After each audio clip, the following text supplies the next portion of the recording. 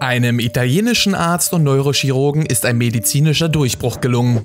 Er konnte aufzeigen, dass Nerven, Wirbelsäule und Blutbahnen sich miteinander verbinden lassen und somit eine Kopftransplantation möglich ist. Die OP erfolgte an einer Leiche und dauerte nur 18 Stunden. Das ist nur die Hälfte der Zeit, die normalerweise für solche Versuche nötig war. Kopftransplantationen wurden bis dato nur an Tieren erfolgreich durchgeführt. Doch keines der Tiere überlebte länger als 20 Tage nach der OP. Trotzdem wolle man eine Kopfverpflanzung an einem lebenden Menschen versuchen. An Freiwilligen, die sich so einer Operation unterziehen würden, mangelt es offenbar nicht.